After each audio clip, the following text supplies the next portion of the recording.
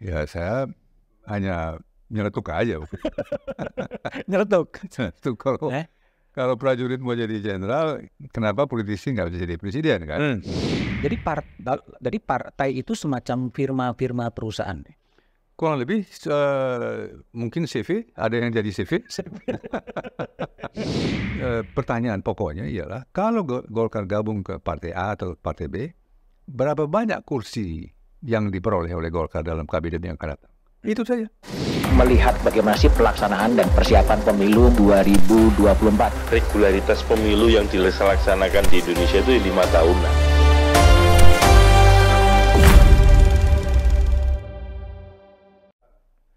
Oke, jumpa lagi di Back to BDM edisi The Candidate. Hari ini saya kedatangan politisi yang sangat senior dari Partai Golkar, ya. Politisi ini sudah banyak mengenyam asam garam politik, pernah menjadi jaksa agung, pernah menjadi sekretaris kabinet di era Presiden Gus Dur, dan pengalaman internasionalnya juga sangat luar biasa menjadi pelapor khusus untuk Korea Utara dan kemudian juga peninjau untuk Myanmar. Tokoh ini sekarang adalah Dewan Pembina Partai Golkar dan pada tahun 1991 ketika Orde Baru masih berkuasa, ketika Presiden Soeharto masih kuat-kuatnya, politisi yang hadir di ruangan kerja saya ini pernah menyatakan bahwa saya ingin jadi presiden.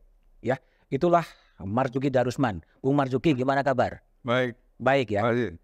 91 pernah ngomong ingin jadi presiden.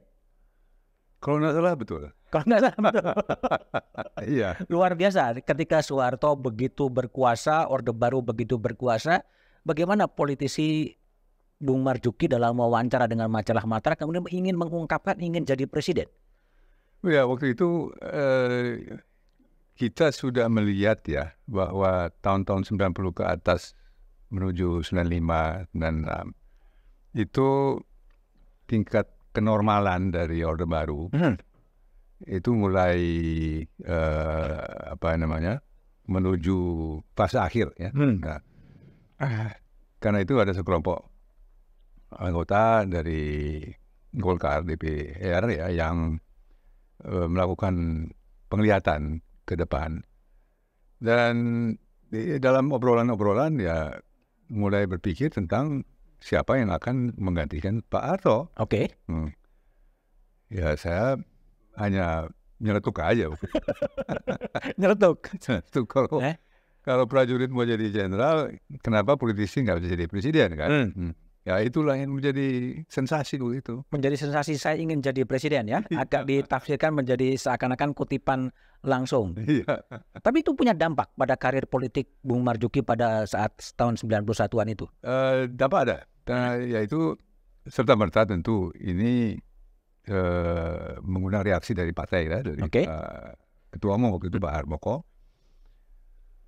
Sekjennya Pak Bitular. Eh, Lalu saya berikan penjelasan, dia dimintakan penjelasan ini bagaimana dulu perkara nih. Ya, ya begitu. Kita di, di, di proses ya mungkin karena suasana kerikuhan di dalam, Hmm. saya diminta untuk eh, udahlah untuk sementara eh, istirahat dulu lah ya dari politik istirahat dari politik. Dari politik Ah. makanya di dilepas dari eh, pencalonan. Eh, oh dilepas dari pencalonan. Dilepas dari pencalonan.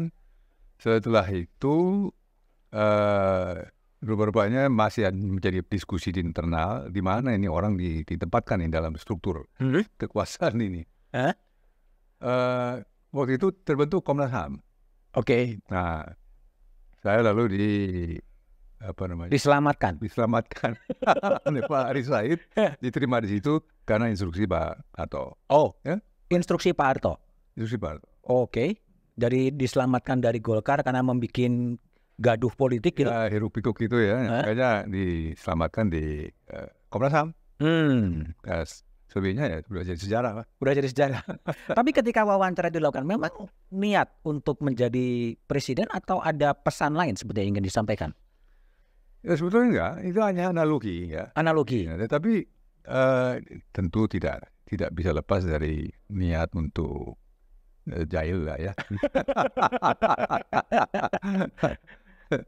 Eh, dan dengan itu mungkin terbuka ufuk Hmm. eh, mental umum ya, Hmm. bahwa ada ada eh, kemungkinan politik yang lain dari yang yang berlaku ya. Kalau eh, orang lain bisa jadi presiden Hmm. ya. dan perasaan itu mulai mulai berkembang begitulah ya.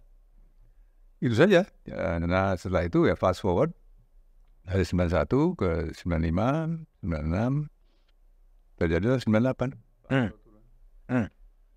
Tapi pada saat 98 tidak mencoba run menjadi presiden. Nah, eh, ya waktu itu masih ini sih masih transisi ya. Hmm. Eh, pemerintah juga sedang mencari bentuk baru. Eh, waktu itu Pak Habibie naik setelah Pak Harto eh, turun, sehingga masih masih sambungan dari yang lalu. Eh, belum ada suatu format baru politik yang eh, memungkinkan aspirasi itu eh, bisa di dimajukan. Oke. Ini masih momentum masih momentum orde baru waktu itu. Hmm. ya. Nah, itu 91. Nah, kalau sekarang ya, sekarang itu artinya dua apa se- beberapa se- 20 tahun kemudian masih berminat untuk menjadi presiden. Eh, minat ya. Sudah terlalu banyak yang berminat. Sudah terlalu banyak yang berminat. Jadi tidak unik lagi. Enggak, balik lagi nih. Ini beda 91 dengan sekarang ya. Iya. Banyak yang berminat. Waduh luar biasa sekarang. Jadi eh, ya udahlah. Eh, kalau ucapannya kan eh, kalau dia bisa kenapa kita tidak bisa? Bukan itu. Kalau dia bisa ya silakan aja. Dan kedua, eh, saya sudah eh, kurang lebih melampaui itu eh, keinginan itu ya, Hmm. Eh, karena lebih tertarik untuk mendalami keadaan kita Hmm. lebih banyak dari dari terjun langsung praktek dalam politik dan menjadi apa bagian dari eh, administrasi pemerintahan ya, dan sudah sudah kita lewati, sudah saya lewati itu, jadi sudah cukup lah. Sekarang udah nggak berminat artinya. Tidak berminat lagi. Sudah nggak berminat lagi presiden. Oke, kita ngomong ke Partai Golkar, Ya. Bung Kiki. Ini kan eh, ramai ya upaya-upaya dan apa keriuan-keriuan bakal ada munaslup, bakal ada apa. Sebetulnya sebagai anggota Dewan Pembina Partai Golkar, ini apa yang sedang terjadi di Golkar sekarang ini sebetulnya? Ya ini tadi kalau dikatakan saya tidak berminat saya jadi presiden ya mungkin juga karena tidak ada waktu jadi presiden. Dan waktu itu eh, tersita untuk me- me- apa, eh, melihat-lihat lah kedalaman di partai ini ya juga ter- di antaranya. Eh, ini harus kita mulai dari satu ini ya dari satu fase awal yaitu eh, kembali ke tahun-tahun 65 sebetulnya. Sekarang, Ya, oke? dari sekarang ini harus kita kembali ke sana dulu untuk mengerti apa yang terjadi sekarang ini. Oke. Ini yang tidak di, di eh, minati barangkali atau tidak segera diperoleh pengetahuan ini oleh generasi yang baru ya. Tapi tahun 65 terjadi ledakan besar waktu itu. Mhm. Ya. Eh, mulai saat itu eh, kita eh, berhenti berpolitik sebetulnya. Terjadi eh, dehistorisasi Dehistorisasi. ya. Eh, sejarah mengalami militerisasi Hmm. yang masif dan sistematis. Nah, dengan demikian itu menguatkan lagi proses depolitisasi di mana eh, yang ada dan ini sudah pernah kita diskusikan yang ada adalah administrasi kekuasaan ya. Nah, ya, ini manifestasinya adalah eh, partai-partai sekarang ini tidak mempunyai eh, satu eh, posisi yang dipertandingkan, disandingkan dengan partai, posisi partai lain secara terbuka. Hmm. Tidak ada debat Nggak ada debat. ya. Da- dengan demikian politik itu masuk ke dalam partai masing-masing. Hmm. Nah, eh, dan dinamika itu ada di dalam partai sebetulnya. Nah, apa yang terjadi di Golkar ini sebetulnya adalah dinamika itu, dinamika politik yang tidak bisa dilakukan di luar sistem, di luar partai, harus dilakukan di dalam partai. Ya. Dan masing-masing partai mempunyai cara sendiri untuk uh, apa memanage konflik dinamika itu sendiri ya. Nah, Golkar mengalami posisi apa situasi yang sama. Jadi apa yang terjadi di Golkar setiap kali kalau ada dinamika itu, itu ialah dinamika politik yang tidak bisa dilakukan di luar partai karena sudah dikandangkan itu ke dalam uh, partai ya. dan partai sendiri mengalami depolitisasi juga karena uh, yang yang seharusnya uh, berlangsung di luar terpaksa harus langsungkan di dalam partai dan partai tidak lagi menjalankan sebagai organisasi aspirasi. Dia menjadilah uh, mekanisme kekuasaan saja. Itu situasi kita yang kita alami sekarang. Artinya ada tangan-tangan eksternal yang masuk ke dalam partai sehingga terjadi dinamika-dinamika politik di Golkar. Uh, ada kekuatan eksternal, oke, okay. ya, uh, yang menjadikan semua partai, semua partai, ya, dari partai nasional atau partai negara, dan menjadikan sekarang ini negara partai. Negara partai. Jadi partai ini bagian dari aparat negara sekarang. Oh, partai ini menjadi bagian dari aparat iya, negara. Dia komponen semata-mata komponen dari aparat. Okay. negara, ya, untuk menjaga stabilitas. Oke. Okay. Ya. Dan karena itu kalau ada gangguan di satu partai, eh, dinamika misalnya dalam partai itu, maka negara berkepentingan untuk uh, memanage itu. Hmm. Nah, dan itu tidak tidak terkait kepada satu dua orang, sistemnya sudah begitu. Itulah uh, krisis politik yang dan demokrasi yang kita alami sekarang ini.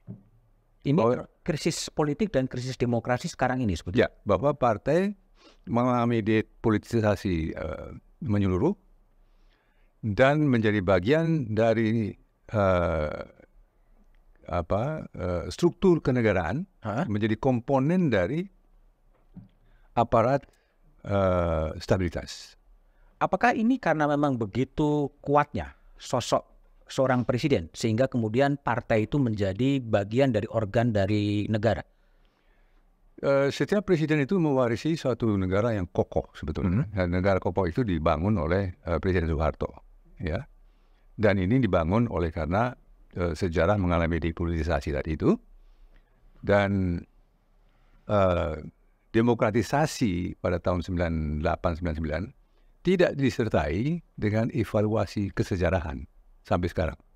Nah, karena itu uh, kita sambut baik sekali ya apa yang dilakukan oleh Presiden Jokowi untuk mengakui hasil kerja dari suatu uh, tim yang dibentuk oleh Pak Mahfud yaitu TP TPHAM HAM yang mengakui bahwa selama 50 tahun terakhir ini terjadi kekerasan politik.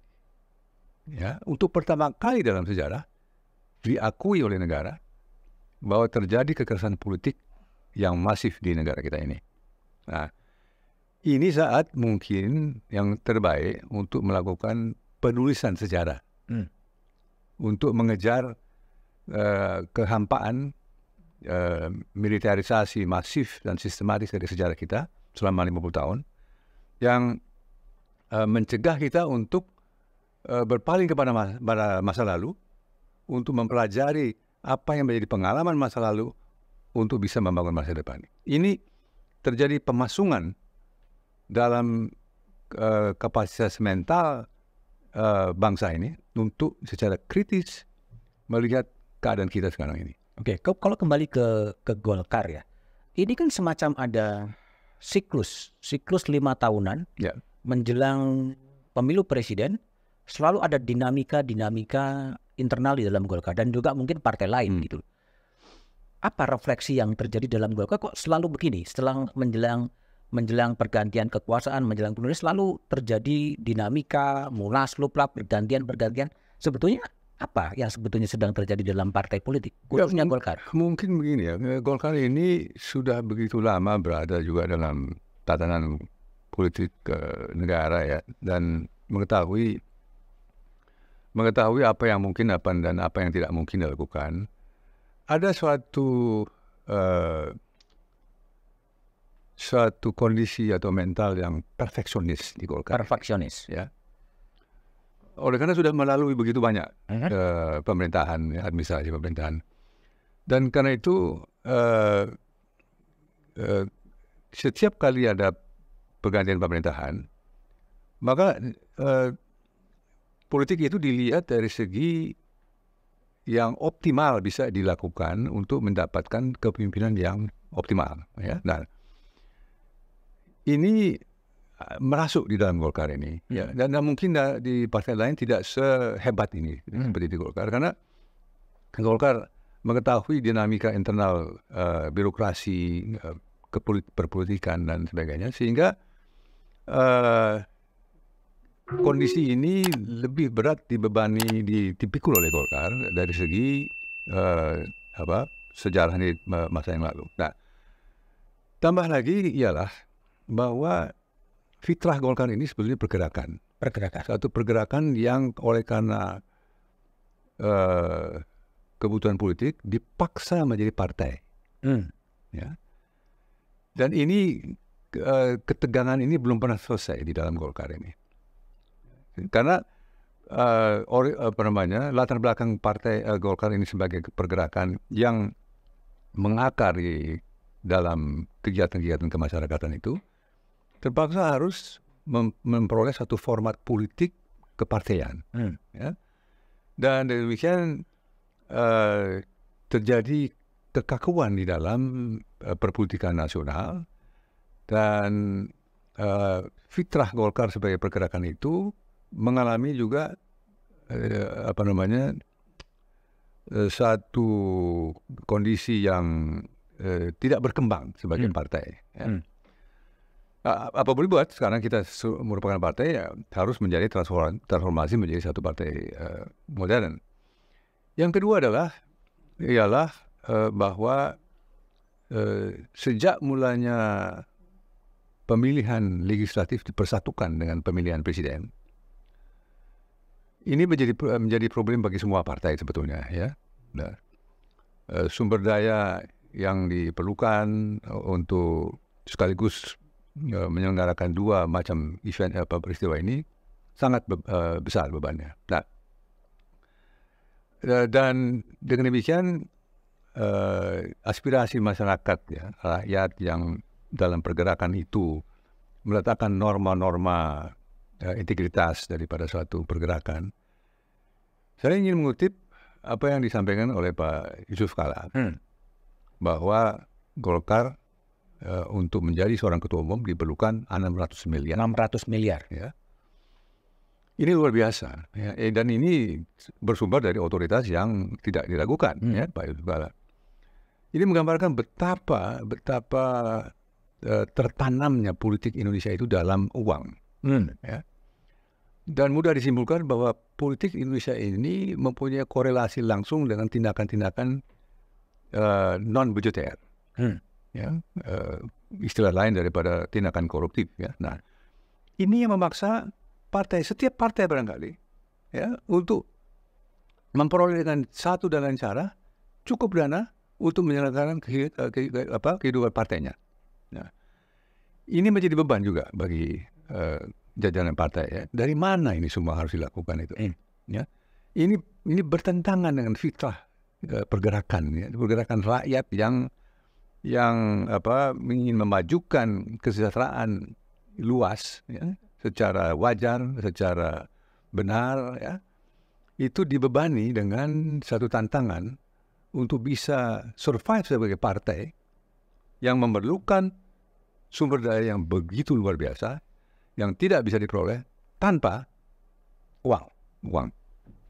Dan 500-600 miliar untuk menjadi ketua umum Golkar itu juga pasti di partai-partai lain juga kemungkinan besar juga ada pola yang sama. kurang lebih sama. Nah, menguatkan lagi bahwa partai itu tidak lebih daripada komponen di dalam aparat aparatus eh, aparat negara, Jadi bagian dari negara. jadi par- da- jadi partai itu semacam firma-firma perusahaan. Kurang lebih eh, mungkin CV, ada yang jadi CV, ya, eh, tapi eh, jadi ketua umum itu tidak lebih dari eh, pimpinan korporasi, sebetulnya. Pimpinan korporasi, ya, managing director sebetulnya. managing director yang dia mengeluarkan investasi Ya, 500 sampai 600 miliar. Untuk dapat nanti harus dikembalikan lagi. Harus dikembalikan lagi. Dengan satu dan lain cara. Dengan dengan cara apa pun juga. dengan cara yang yang tentu ya mestinya eh, dijelaskan, tetapi tidak pernah dijelaskan. Hmm. Bagaimana bisa dapat eh, 600 miliar dengan cara yang wajar pada satu saat tanpa penjelasan? Kapan sebenarnya terjadinya sebuah model politik yang sangat transaksional, sangat jual beli? Itu kapan pergeserannya sebetulnya? Terjadinya itu kapan?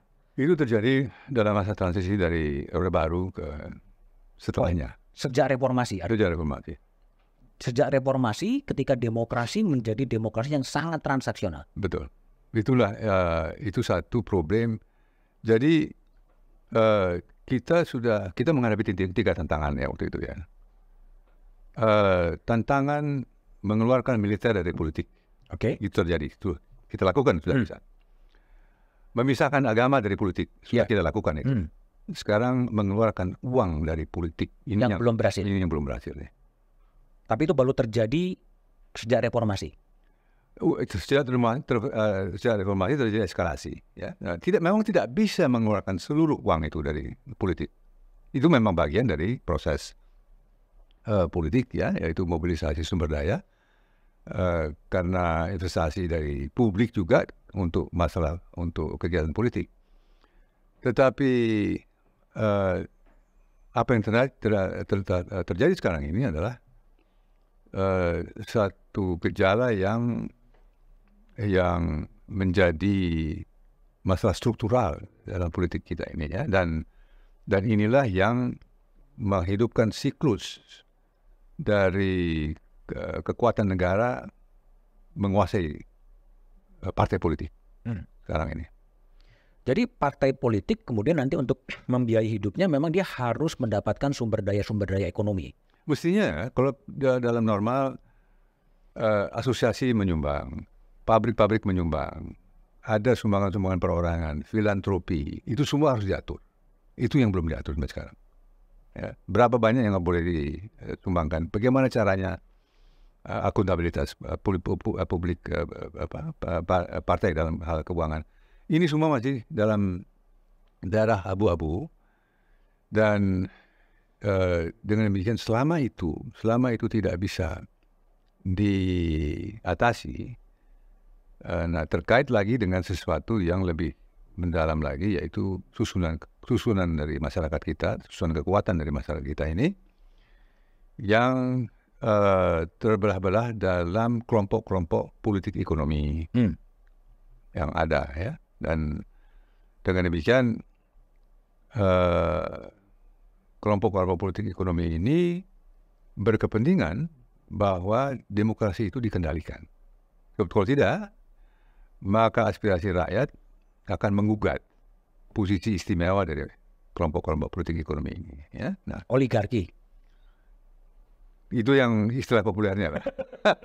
Tapi saya saya lebih cenderung ya untuk eh, tidak menjadikan itu sebagai pangkal analisa. Itu pengamatan. Hmm. ya tidak bisa pengamatan itu menjadi ana- analisa tapi proses ini yang yang lebih masuk akal yaitu bahwa partai politik tidak berfungsi sebagai partai politik sebagaimana mestinya kalau itu bisa terjadi maka persoalan oligarki politik ekonomi dan lain sebagainya itu bisa diatasi. Hmm. ini sekarang kuncinya.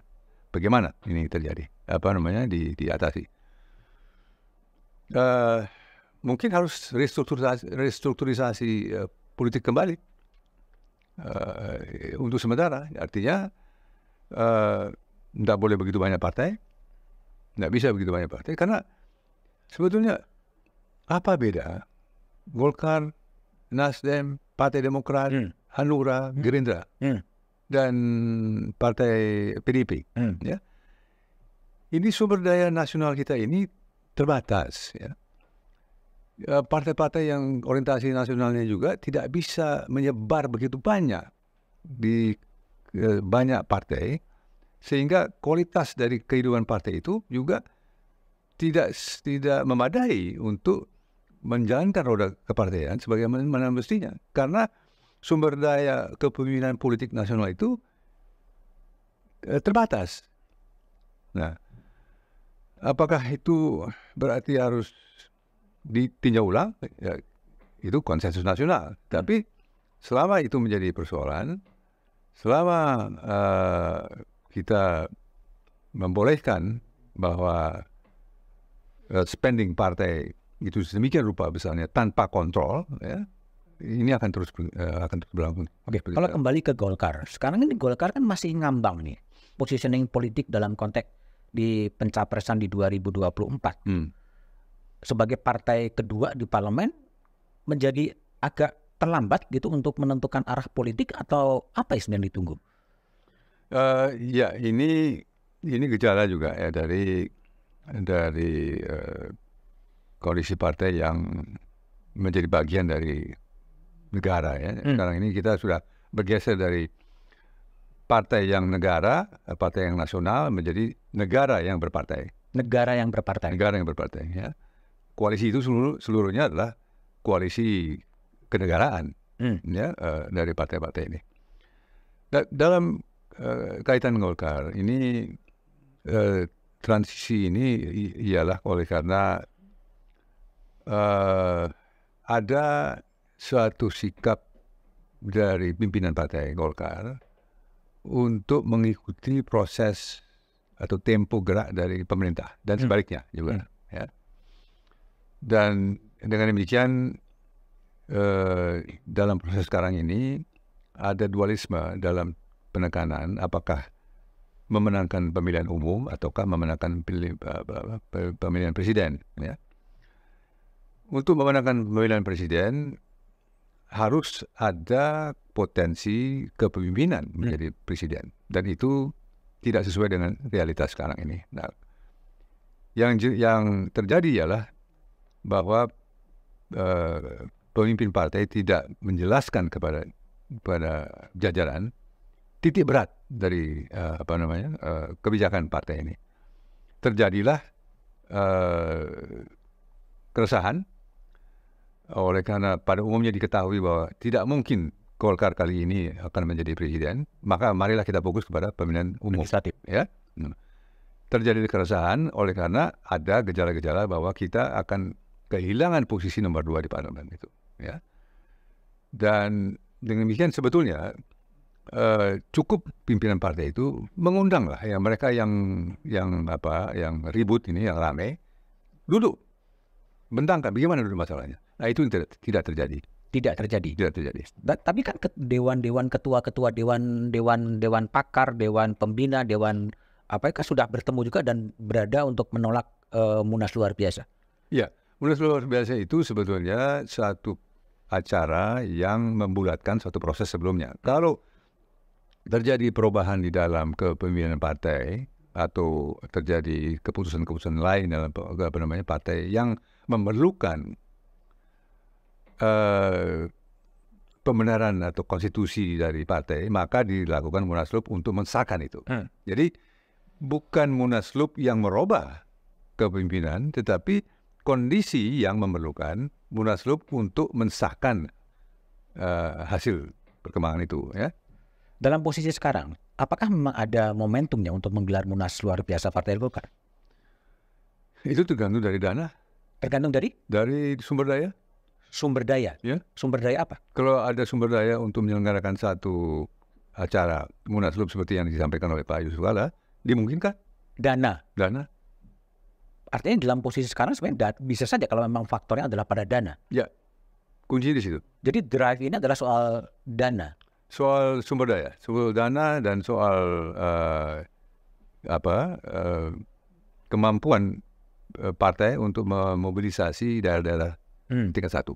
Oke. ya dan daerah tingkat dua karena mereka lah yang memiliki suara. Dan untuk memobilisasi itu eh, diperlukan dana. Itu tidak lebih daripada itu sekarang. Apakah sekarang posisi Golkar itu sebetulnya dalam posisi mau diarahkan ke kiri atau ke kanan dan kemudianlah muncul dinamika-dinamika internal sebetulnya? Nah, sekarang kita kalau kita mengambil potret sekarang ini ya, posisi Golkar ini kalau bisa lepas dari kemelut sekarang ini, maka posisi Golkar eh, berada dalam posisi yang ideal Mhm. sebagai satu partai yang bisa menjadi eh, faktor bandul Faktor bandul. di antara eh, dua partai atau tiga partai yang beraspirasi untuk meraih ke kepresidenan. Hmm. Ya, nah, jadi Golkar akan mem- apa namanya eh, memilih mana partai yang berkemungkinan untuk menang, Oke. ya. Dan dengan demikian eh, pertanyaan pokoknya ialah kalau Go- Golkar gabung ke partai A atau partai B, berapa banyak kursi yang diperoleh oleh Golkar dalam kabinet yang akan datang? Itu saja. Mana, Negosiasi ya, mana partai yang bisa mena- menawarkan lebih banyak. eh, posisi eh, ini eh, dalam kabinet lebih dari yang lain. Itu merupakan faktor kunci eh, mengenai posisi Golkar. Jadi sangat negosiasi, sangat perundingan siapa dapat apa dan dapat berapa. Basically ya, itu. Peluangnya ada di mana? Apakah di koalisi yang dibangun oleh Gerindra atau koalisi yang dibangun oleh PDIP? Kalau dalam posisi Nah ini begini, ini eh, pandangan saya. Eh, karena Golkar ini mempunyai pengalaman berpemerintahan yang lama ya. Hmm? Eh, kita paham bahwa hasil kerja itu memerlukan eh, masa kerja yang cukup cukup mencukupi untuk bisa menilai ya. Eh, naluri mengatakan bahwa kalau salah satu partai hanya bisa memerintah lima tahun satu periode Hmm? dibandingkan dengan partai yang bisa memerintah dua periode, kecenderungan Golkar untuk memilih yang dua periode. dua periode. Meskipun probabilitas menangnya juga belum tentu. Belum tentu. Tapi ini menjadi faktor penting Oh. juga. Jadi dua hal, berapa kursi yang bisa diperoleh dan eh, partai mana yang bisa menjamin kestabilan yang panjang. Jadi nothing to do dengan ideologi, nothing to do dengan visi, yang penting siapa dapat berapa. Betul? Ini sekarang tidak ada lagi ideologi. No ideologi. Nah, sekarang ini sudah ada begini kan. Sekarang sudah ada konsensus makroekonomi yang luas. Hmm? Eh, bahwa politik itu tertuju eh, pada ekonomi. Oke. Tidak tertuju kepada eh, memajukan nilai. Hmm. ya Eh, kehidupan politik sudah menjadi masa dan untuk mengendalikan masa hanya dua ini pentingan yaitu eh, memberi peluang konsumerisme yang luas bagi publik di satu pihak dan yang satu lagi eh, mengangkat eh, sentimen-sentimen patriotik nasionalis Hmm. dua ini saja cukup untuk mengendalikan politik Hmm. yang lain tertuju untuk memajukan pembangunan ekonomi. Untuk semua partai berlaku bahwa politik makroekonomi kita ini tidak ada beda satu partai dengan yang lain. Jadi tidak ada masalah ideologi, tidak ada kontestasi Gagasan? gagasan, karena semua sudah sepakat bahwa makroekonomi eh, yang diselenggarakan oleh pemerintah itulah yang akan diikuti oleh partai. Ya, karena memang partai adalah bagian dari eh, aparat negara. Oke. Ini mengartikan bahwa sebetulnya eh, yang menjadi panglima adalah ekonomi sekarang. Yang menjadi panglima adalah ekonomi. Ya, yang jadi ekonomi dengan seolah-olah politik itu tidak penting, ya Politik tidak penting. tidak penting. Yang penting adalah bagaimana pertumbuhan bisa dijamin dan bahwa ini eh, berkelanjutan untuk masa yang cukup panjang ke depan. Jadi ekonomi menjadi panglima, lalu kemudian perilaku politiknya seperti Laswell bilang bahwa who get what, when, and berapa. Betul, ya. Dan ini dikuatkan juga dengan regulasi. Oke. Misalnya, eh, undang-undang KUHP yang baru, Hmm. yang masih akan berlaku nanti dua tahun. Tiga lagi. tahun lagi. ya tiga tahun. Di situ dibatasi mana yang boleh, mana yang tidak boleh dalam perilaku. Hmm. Ya. Yang akan berlaku adalah perilaku yang diberi sanksi oleh negara, yang didukung oleh negara. Setiap perilaku yang tidak sama dengan itu dianggap sebagai perilaku yang menyimpang. Hmm. Nah, dengan demikian, eh, apa yang sekarang terjadi adalah bahwa yang ada adalah hanya satu versi bagaimana membangun negara itu. Dan versi itu masih diwarnai oleh suatu sikap sejarah yang berlaku sejak tahun 65. Suatu kondisi traumatis bahwa kita tidak bisa berpaling kepada masa yang lalu untuk mencari uh, sumber daya-sumber daya yang lain kecuali apa yang berlaku sekarang ini. Artinya negara akan menjadi penafsir tunggal atas negara penafsir tunggal uh, dan dengan demikian uh, apa yang kita hadapi sekarang ini ialah uh, pertarungan antara kemerdekaan dan kebenaran. Kemerdekaan dan kebenaran. Eh, kebenaran versi pemerintah yang diimplementasi dengan kehendak demokrasi uh, rakyat untuk kemerdekaan bahwa mereka bisa hidup dengan wajar dengan mimpinya masing-masing ya itu uh, tertutup pada umumnya oleh karena dominasi dari uh, ideologi yang diterapkan oleh negara. Kalau negara sebagai penafsir tunggal atas apa pun itu, negara ini mewujud dalam sosok siapa? Ya ini uh, sudah menjadi satu mekanisme yang seolah-olah tidak bisa lagi dikendalikan. Maksudnya? Dikendalikan oleh uh, pemimpin politik. Hmm. Sebab negara ini yang sudah uh, meletakkan ekonomi pada uh, ini posisi utama menyatu dengan kondisi global hmm. yang serupa juga, yang telah mengalami juga proses politisasi pada saat uh, perubahan-perubahan ekonomi di di Barat, maka terjadi konsensus tadi. Ya, Hmm. Konsensus tentang ekonomi inilah yang menjadi juga uh, bagian dari format perpolitikan di Indonesia. Jadi uh, untuk sebagian memang kita daulat, tapi untuk sebagian yang lain kita menjadi bagian dari suatu tatanan dunia yang dikendalikan oleh kekuatan-kekuatan ekonomi. Ini mengarah kepada sebuah neoliberalisme sebetulnya. Uh, mau dikatakan gitu juga bisa dilak- uh, dikatakan bahwa ini satu kondisi di mana sebetulnya kita uh, apa uh, terpaksa harus mengikutinya. Ya. Hmm. Uh, dulu mungkin lebih sederhana ya dunia di mana ideologi itu timur barat, ya. Uh, bipolar. Sekarang multipolar. Sekarang unipolar menuju ke multipolar. Ya.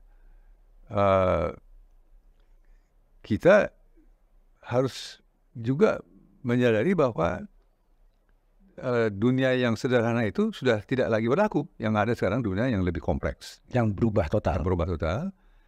Dan kita harus bisa navigasi di dalam dunia multipolar dan menjadi polar sendiri juga, ya.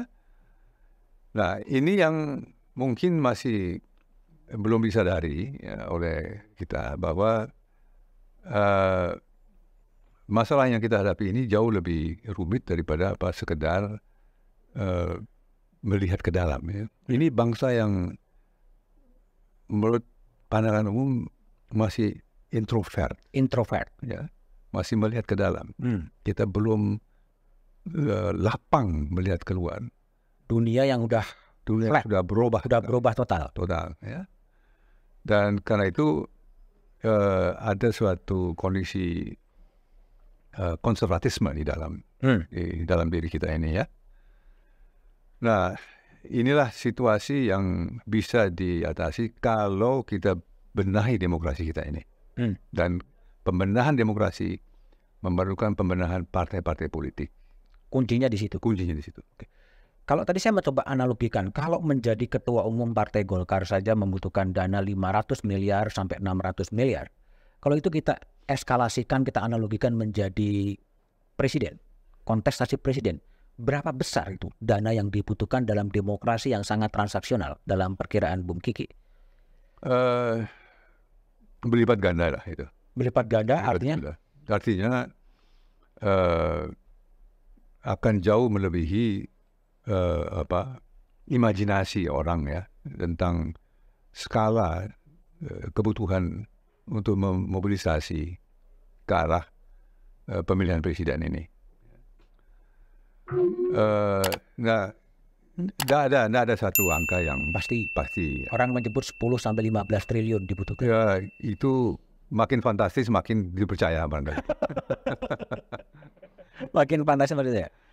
Eh, karena itu eh, memang ini eh, satu fenomen atau satu tantangan yang dihadapi oleh bangsa ini ya untuk menjelaskan bagaimana sebetulnya ini proses-proses politik ya. Ya, Hmm. Sebab kalau kalau eh, begitu banyak memerlukan dana sumber daya yang tidak bisa diperoleh juga dari dalam negeri, bukan tidak mungkin bahwa ada tawaran-tawaran dari luar. Oke. Ya, itu Oke. logikanya begitu. Ya. Artinya terbuka kemungkinan negara-negara siapa pun adidaya adikuasa akan juga ikut bermain dalam panggung politik 2024. Pasti. Karena mereka berkepentingan tentang posisi Indonesia ini. Ini yang posisi Indonesia yang begitu strategis, tidak mungkin bahwa pemilihan umum kita ini, pemilihan presiden ini tidak diminati untuk diikuti bahkan untuk diharapkan uh, hasil yang menurut uh, atau sesuai dengan kepentingan uh, pihak luar. Artinya juga menjadi pertarungan proksi antara kekuatan-kekuatan negara besar dalam konteks kontestasi pemilu Oh, presiden.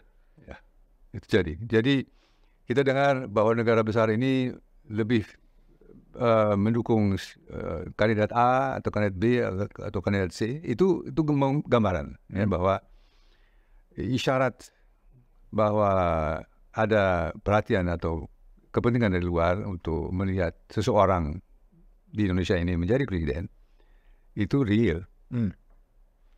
Jadi artinya memang terlalu naif kalau menganggap bahwa 14 Februari 2024 itu betul-betul kedaulatan rakyat untuk memilih pemimpin tanpa intervensi dari negara-negara luar.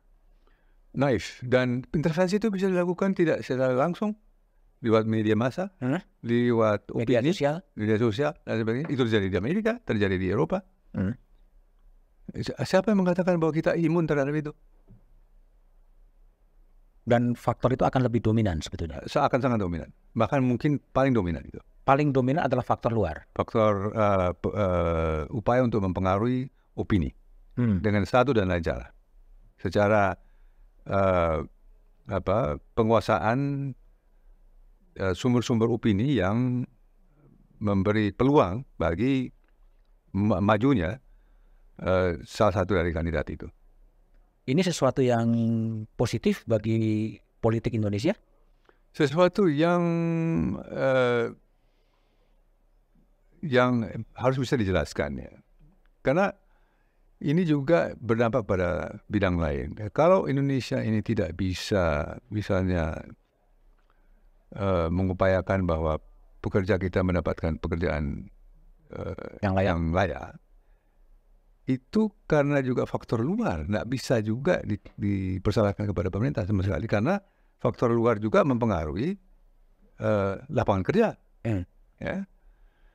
Jadi kalau sekarang ini kita katakan bahwa eh, kepentingan luar itu juga bermain, otomatis ini berdampak kepada bidang-bidang lain dan dan tentu realitas ini eh, akan akan termanifestasi. Apakah itu positif atau tidak? eh, itu masalah penilaian. Kalau Bung Kiki lihat reformasi 98 sampai sekarang 2023, posisinya masih on the right track atau getting better atau getting worse? Eh, dalam beberapa tahun terakhir ini terjadi beberapa kali penilaian dari luar tentang demokrasi kita ini ya. Sampai tahun 2009 harapan masih tinggi sekali bahwa demokratisasi kita ini eh, akan melembaga dan lebih mantap. Hmm. Dalam 10 tahun terakhir ini eh, terjadi ke- kecemasan setelah di eh, apa di, di analisa kecemasan terjadi stagnasi bahkan kemunduran Kemunduran. dalam dem- demokrasi kita ini ya yaitu diukur dari eh, keleluasaan untuk menyampaikan pendapat ya. Eh, kecepatan melakukan kriminalisasi eh, kendali yang bersifat kenegaraan atas eh, orientasi gaya hidup. Semua itu diukur tentu dari kacamata norma universal atau internasional ya. Eh, jadi memang ada penyempitan dalam ruang kewargaan Hmm. eh, untuk bisa berkiprah ya.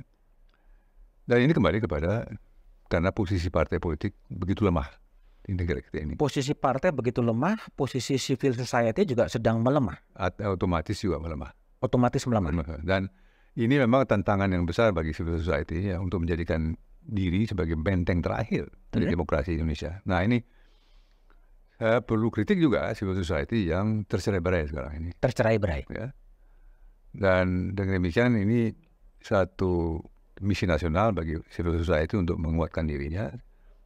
Manakala eh, partai politik dan pemerintah tidak bisa membendung kecenderungan otoritarisme kembali, Hmm. ya, Eh, real atau yang diimajinasikan.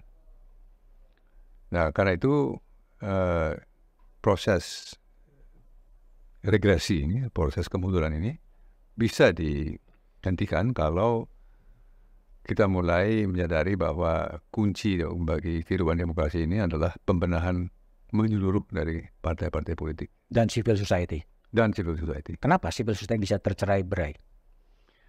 Eh, dia tercerai-berai oleh karena memang begini ya. eh, tradisi tradisi civil society yang modern ini eh, bermula juga dari sejarah kita ini ya. Eh, ada asosiasi, ada serikat dagang dan lain sebagainya itu itu civil society juga. Tetapi dalam kacamata yang modern ini civil society juga banyak bergantung dari eh, keperluan sumber daya, Hmm. sumber dana untuk aktivitas ya. Masyarakat kita ini masih belum eh, mempunyai orientasi untuk mendukung civil society itu ya. Eh, satu survei yang di, dilakukan oleh eh, universitas memperlihatkan bahwa eh, dukungan masyarakat untuk demokrasi itu masih minim. Hmm. Eh, masyarakat lebih menginginkan pemerintahan yang responsif. Kalaupun itu tidak demokrasi, Nggak apa-apa. tidak apa-apa. Ya. Dan karena itu tidak merasa perlu ada satu kemampuan civil society untuk menyuarakan ini semua. Ya, karena kalau keperluan-keperluan dari masyarakat itu bisa dipenuhi oleh satu eh, pemerintahan yang responsif, itu sudah cukup. Hmm. Itu menjadi masalah kita. Hmm. Eh, ini yang menyebabkan kecenderungan otoritarisme itu tetap ada di dalam bangunan demokrasi kita ini. Jadi eh, demokrasi memang memerlukan orang yang atau kepemimpinan yang kuat. Tetapi kepemimpinan kuat dalam kondisi yang masyarakat tidak merasakan bahwa diperlukan itu karena eh, kebutuhannya di- dipenuhi. Sekarang sudah mulai terasa bahwa masyarakat merasa dia sendiri harus menyuarakan itu sendiri. Hmm. Dan manakala masyarakat merasa harus menyuarakan sendiri, maka terbentuklah gerakan populis itu. Hmm. Ya, jadi civil society ini bersaing dengan gerakan populis yang yang menyuarakan keperluan masyarakat dan aspirasi masyarakat langsung tanpa partai politik. Oke, jadi ini sebenarnya tren negara atau tren negara bangsa ini mengarah kepada the end of the political party Ya. dan the end of civil society. Eh, di- ya kalau mau dikatakan di end, kita eh, eh, secara optimis ingin mengatakan ini eh, The shrinking. ya, di di the end of the beginning artinya, begini. ya Dia end of the beginning. the end of the beginning ya. jadi eh, kita kita mulai sekarang bebenah Hmm. kalau ini terus eh, apa proses seperti sekarang itu ber- berlangsung maka kita akan kembali lagi tidak lainnya seperti apa yang terjadi di Kamboja. Masyarakat lebih senang mendapatkan pelayanan kalau itu bisa dipenuhi oleh eh, pemerintah. Demokrasi menjadi sekunder. Menjadi sekunder. Oke, oke. Bung Gigi, ini kan Bung Gigi kan apa lama ya pernah menjadi politisi, pernah berada di pemerintahan, pengalaman internasionalnya juga begitu banyak. Tentunya punya observasi yang lebih jitu terhadap eh, kondisi kebangsaan. Apa sih sebetulnya menurut telaah dari Bung Kiki masalah bangsa? Tadi kalau disebutkan antara demokrasi yang sangat transaksional sebagai problem. Problem lain apa sih? Kok bangsa ini katakanlah tidak bisa melejit dengan pesat dan tadi demokrasinya juga stagnan atau mengarah kepada regresi. Pangkal masalahnya sebetulnya di mana? Pangkal masalah kita adalah di di mindset ya di dalam Mindset. mindset kita yang masih dikuasai oleh misteri tahun 65. Gimana tuh penjelasannya? Eh, sampai hari ini tidak jelas apa yang telah terjadi pada tahun 65. Oke. Eh, manakala terjadi pertumpahan darah yang Hmm. yang besar-besaran itu. Hmm. Tentu ada versi itu hanya satu apa namanya konflik lokal. Hmm. Tapi ada juga versi lain bahwa dan ini ah, cukup dominan bahwa eh, ini bukan hanya satu apa konflik lokal eh, di mana terjadi tawuran antara masyarakat ya terutama di Jawa Timur tetapi sesuatu eh, konflik eh, dengan skala besar ya yang yang bersangkutan dengan bagaimana pemenang pada waktu itu menyelenggarakan pemerintahan selama 30 tahun dengan menegakkan versi tentang apa yang telah terjadi Hmm. sehingga membenarkan keterbatasan pembatasan-pembatasan yang dilakukan selama 30 tahun ya 50 tahun sampai sekarang juga selama tidak ada kejelasan tentang itu selama itu kita akan selalu eh, terperangkap dalam dalam politik ekstremisme, Ekstremisme. Eks- eh, politik kiri atau politik kanan, Oke. ya. Bahkan sekarang ini kiri dan kanan ini sudah sudah menjelma menjadi politik mana yang benar, mana yang salah. Hmm. Jadi kunci dari dari ya, untuk keluar dari eh, dari keadaan sekarang ini, dari stagnasi ini ialah kejelasan tentang apa yang telah terjadi pada tahun 65. Nah, sementara ada yang mengatakan sudah jelas yang terjadi, Hmm. ya. Eh, ada yang harus dipersalahkan, ada yang eh, harus dipandang sebagai korban. Ya, hitam putih sudah begitu. Tapi tidak selalu begitu. Tidak begitu, Eh, karena begitu banyak sekarang eh, pandangan yang berada di masyarakat yang mempertanyakan. Nah, mudah-mudahan dengan pengakuan pemerintah bahwa telah terjadi kekerasan politik ini, ini bisa diungkap. Hmm. Ya, kita memerlukan eh, rehistorisasi dari bang- bangsa ini, ya, Hmm. yang yang mengalami dehistorisasi itu, kita tidak bisa merujuk kepada bagian sejarah kita yang membanggakan untuk membangun persatuan dan eh, patriotisme. Hmm. Karena ada masa kelam yang yang tidak jelas ini. Hmm. Ya. Bagaimana sejarah bisa digunakan untuk membangkitkan rasa bangga kepada bangsa ini kalau ada bagian sejarah yang tidak bisa dijelaskan sampai sekarang. Jadi ini kunci bagi kemajuan bangsa. Oke. Oke. Jadi artinya masa lalu masih menjadi masih menyandra perkembangan Indonesia ke depan. Masih sangat menyandra. Dan langkah Presiden Jokowi membentuk TPP HAM itu menjadi awal juga untuk Itu membuka eh, itu satu jendela yang terbuka. Dan saya memperkirakan kalau tidak difahami betul bahwa ini hanya jendela sementara ini, Hmm. bisa tertutup lagi. bisa tertutup lagi. Ya, kalau nanti pilpres menghasilkan pemerintahan yang tidak berkenan Hmm. Dengan pembukaan kebenaran ini. Hmm. Jadi ini hanya 8 bulan jendela terbuka untuk mengungkap apa yang telah terjadi pada tahun 65 itu. Setelah 14 Februari, kalau diketahui siapa yang bagaimana pemerintahan yang akan ber- berlangsung ini, maka akan mulai menutup kembali itu. Oke. Nah, untuk sementara memang eh, kita dibekali dengan satu ini ya, dengan satu proses di dalam bahwa eh, nah ini ini membuktikan juga bahwa sebenarnya tidak semua orde baru itu jelek ya. Ada persambungan. Pada waktu itu Komnas HAM dibentuk dalam masa orde baru. Hak asasi manusia masuk ke dalam dalam apa namanya kultur bangsa kita ini. Bahkan sekarang ini hak asasi manusia itu melampaui Pancasila Melampaui Pancasila. dalam hal rujukan sehari-hari dari warga kita ini. Perasaan terhadap hak asasi manusia itu sangat lebih kuat dibandingkan perasaan terhadap apa yang disebut Pancasila sekarang ini. Ya. Nah ini ini juga satu fenomen ya bahwa kita eh, belum keluar itu dari dari keterkukungan masa yang lalu itu yang Hmm. belum belum dijelaskan itu. Jadi masa lalu ini sebaiknya di gimana kan? Dimaafkan, dilupakan, atau diapakan? Kalau ini menjadi sandera untuk masa depan. Untuk sementara eh, kita mau menghindari polemik lagi, Hmm. menghindari konflik. Ya.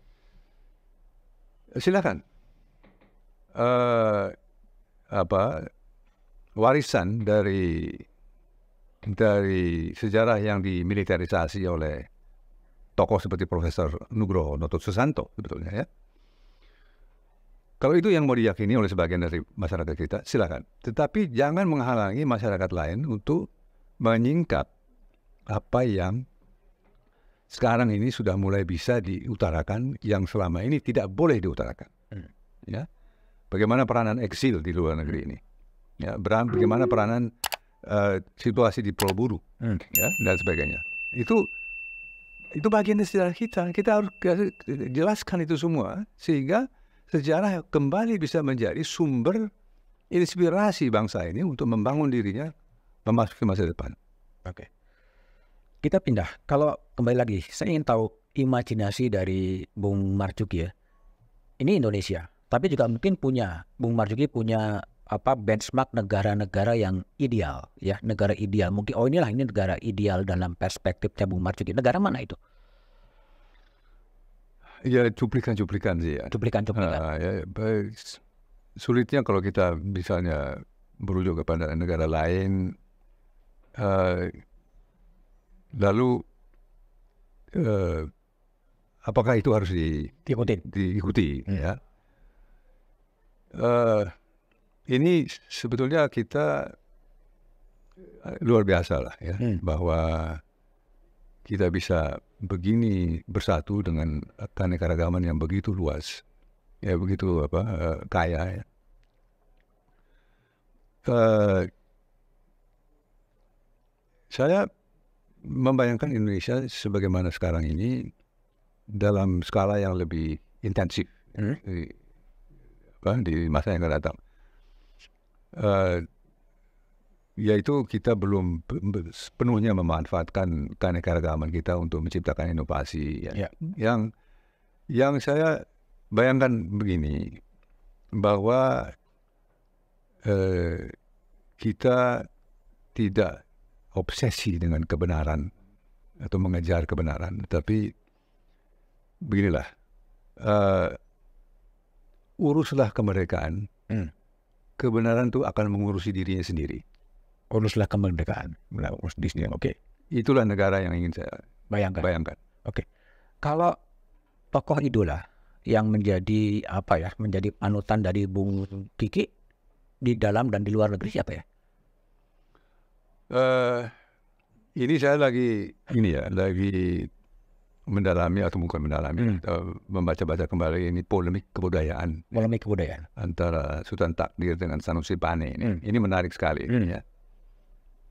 Eh, ya mestinya inilah tokoh-tokoh yang eh, menuntun kita ke depan. Oke. Tapi kalau dari segi politik, eh, saya pernah lama eh, merujuk kepada Bung Hatta, Bung Hatta. ya, yang eh, menggambarkan satu eh, apa sosok kenegarawanan yang yang memang diperlukan oleh bangsa kita, tenang, ya, kalkulatif, ya, Hmm. lalu aspiratif juga, eh, sangat peduli dengan rakyat banyak, tetapi yang naif secara politik. Naif secara politik. ya. Nah itu memang bagian dari perangai kita atau eh, karakter kita sebagai sebagai bangsa ya. Hmm. Jadi tidak ada tak, satu tokoh tunggal yang menurut Ya. saya ya, Yang sempurna. yang sempurna. Tapi jasa yang besar yang dilakukan oleh eh, Bung Karno itu tidak bisa dihialakan. Karena apalagi Golkar. Hmm. Golkar itu adalah gagasan Soekarno sebetulnya Gagasan Soekarno. ya yang sekarang masih harus masih harus dikembangkan. Hmm. Nah, dalam dalam pengertian itu eh rujukan saya konstitusi sebenarnya Hmm. dan eh, kita harus bisa menjadikan konstitusi ini sebagai sumber inspirasi dari kehidupan bangsa. Oke. Kalau mimpi Bung Marzuki ketika Indonesia berusia 100 tahun pada 17 Agustus 2045, obsesinya seperti apa? 22 tahun lagi. Menjadi negara seperti apa Indonesia ini? Ya hanya ini ya, hanya membayangkan. Saya kira ini bayangan dari hampir banyak orang juga ya. Hmm. Bagaimana nasib dari anak-anak kita dan cucu kita yang akan datang itu Kalau ke, ke 20 tahun lagi ya. Hmm. ya. Bisakah mereka hidup dalam alam yang relatif merdeka, memungkinkan mereka untuk berkembang dirinya dalam kebersamaan dengan sesama ya. Eh, apakah mereka akan hidup aman? Hmm. Itu bayangannya sampai sekarang. Jadi tidak ada sesuatu yang yang muluk-muluk ya, eh, harus mencapai taraf kehidupan se- ini apa rupa rupa atau harus sejahtera sedemikian rupa. Baga- baga- Bagaimana nasib mereka itu? Itu saja. Concern kita Hmm. bahwa masa eh, depan Indonesia itu bisa memberi jawaban kepada hal-hal yang menenteramkan itu. itu pandangan yang pesimis atau realistis atau sebenarnya optimis terhadap 17 Agustus 2045? Ke, ini pandangan yang realistis ya, Hmm. realistis dan Ada kecemasan tapi ada harapan. ada kecemasan, ada harapan. Harapan itu, nah ini juga makna dari perpindahan ibu kota misalnya. Hmm. ya. Ini, ini menarik ini untuk melihat bahwa perpindahan ibu kota itu merubah juga eh, satu cara kita melihat kehidupan bangsa ini. Hmm. Mulai dari satu posisi yang baru sama sekali. Dan ini juga mempunyai implikasi politik. Bagaimana eh, tekanan-tekanan kepada politik yang bisa dilakukan di Jakarta ini selama ini mengirim delegasi kecil sudah bisa menciptakan Hmm. huru hara kan. Hmm. Tapi kalau di sana nanti bagaimana ya? ya, nggak mungkin kita angkut orang se- sebanyak mungkin ke sana kan. Hmm. Nah, itu jawaban itu belum ada sampai sekarang ya. Di, di- di mana itu eh, peranan perlawanan masyarakat bisa diwujudkan Hmm. agar supaya input ke dalam ke- kebijakan legislasi dan pemerintahan itu bisa dirasakan ada pengaruh dari aspirasi itu. Ya. Nah itulah yang eh, menjadi pemikiran saat, ini. Ini suatu tindakan yang luar biasa. Ya. Ya, kita belum tahu apa akibatnya, tetapi sudah diputuskan ya pro kontra. Eh, kewa- kekhawatiran kita ialah tentu bahwa pemerintahan baru akan meninjau ini kembali. Meninjau. Bisa saja meninjau ini, ya kan? Nah, maka terjadi nanti kemelut lagi lah. Nah, Jadi, jadi lebih baik sekarang sudahlah ini sudah disimpulkan begitu, sudah didukung oleh semua partai, lanjutkan saja Hmm. apa pun eh, jadinya nanti. Pertanyaan terakhir.